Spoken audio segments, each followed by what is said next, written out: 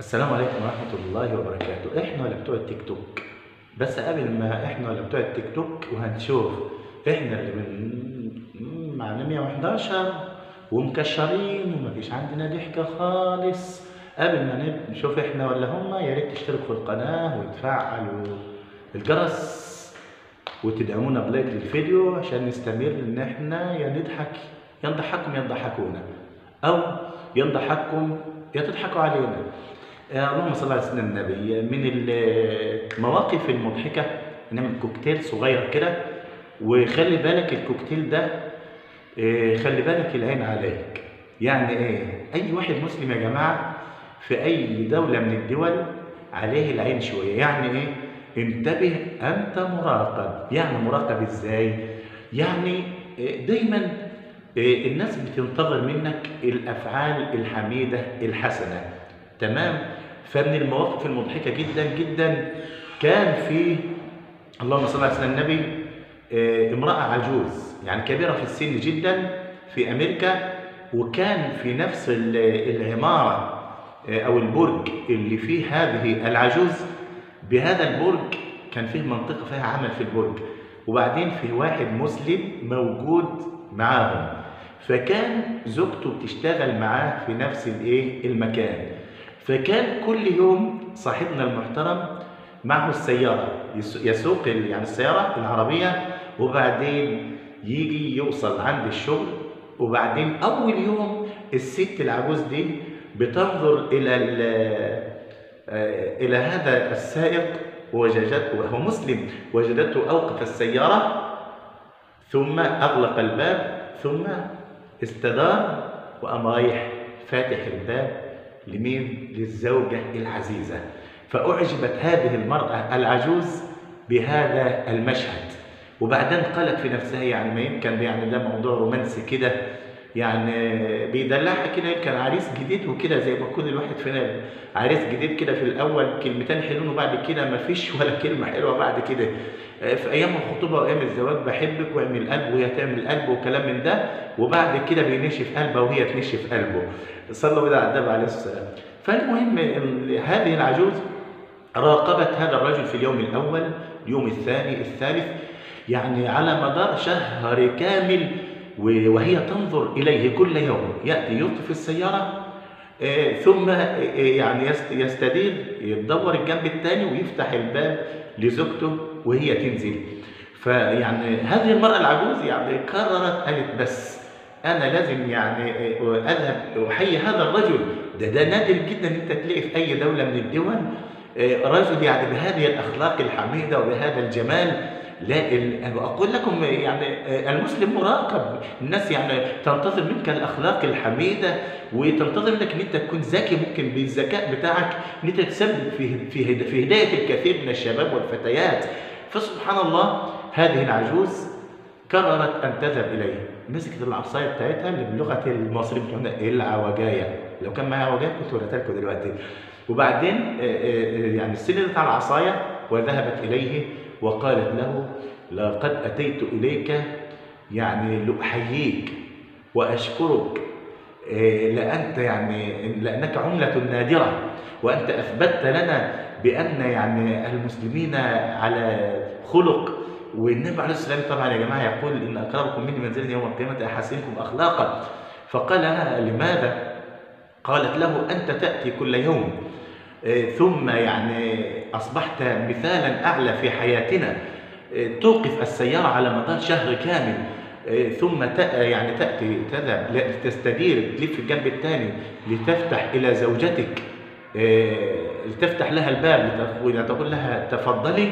قال لها لا المشكلة إن الباب خسران وهو مش بيفتح إلا لما أنا ألف أفتحه يا عم بقى عديت يعني لماذا هذا؟ هي ممكن مشهد واحد يخليها إيه تأسلم. المشهد الثاني والله ما أنا عارف اكمل الراجل اللي عمال يبيع عمال يقول التفاح البلدي والتفاح الأمريكاني وبطيخ على السكين. مش عارف أكمل منه أعمل إيه؟ أكمل؟ طب أنا أكمل.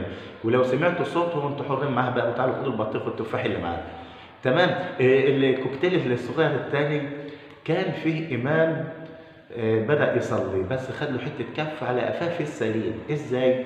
كان فيه رجل يعني على سفر وبعدين آه، دخل يصلي خلف الإيه؟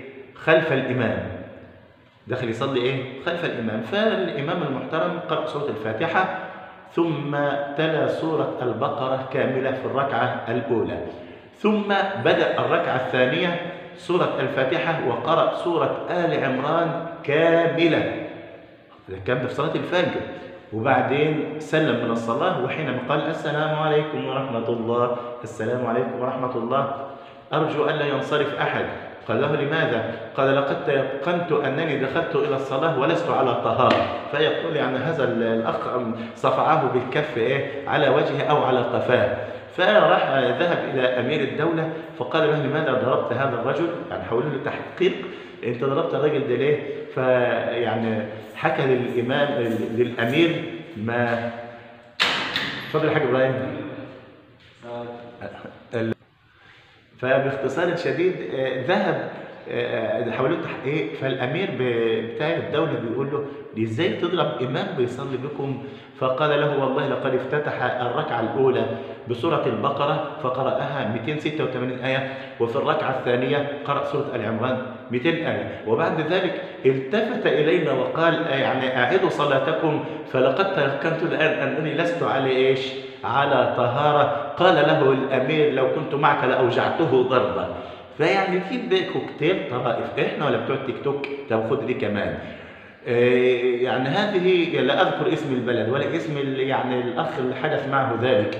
كان في أخ يحفظ كتاب الله كاملا ومعه إجازة بروايه حفص عن عاصم في القرآن وصوته شجي. طيب لكنه ما تصدقش في يوم من الأيام إن هو يدخل يصلي إمام بالناس. صلى على النبي صلى الله عليه وسلم. ما صدقش نفسه انه يدخل يصلي كان دايما يصلي مأموم وهكذا يعني متواضع لله. ففي يوم في رمضان آه، رمضان يعني من أيام من شهور من سنوات قليلة آه، تأخر الإمام ولم يأتي فكل الناس أشاروا إليه قال هذا يحفظ القرآن كاملا. دخلوا يصلي. فبالفعل غصبوا عليه دخل صلى فقرأ في صلاة العشاء قل هو الله أحد الله الصمد. وبعدين بيبلع ريقه. كل المسجد. لم يلد ولم يولد. لم يلد ولم يولد. لم يلد ولم يولد. فالمهم فأصرها في نفسه. قال ماشي ما أنا ببلع ريقه كل بقى حافظ كل والله واحد ليه الإخلاص يقول لم يلد ولم يولد.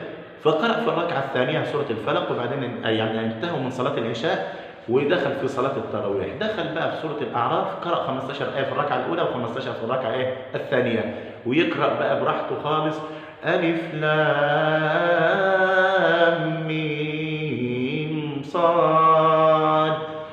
ويطول براحته وممكن يقف وياخد نفسه مرة واثنين بين الآية والثانية وبعدين ينتظر بقى يحاول بقى إن هو يشوف الفترة اللي بعدها. هو أخذ يعني ثانيتين في في النفس في سورة قل الله أحد سورة الإخلاص لم يلد ولم يولد. كل المسجد يرد عليه.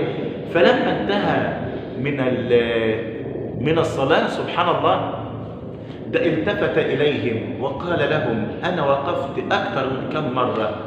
لماذا لم تردوني؟ ولا أنتوا مش عندك ولا لم يلد ولم يولد لم يلد ولم يولد.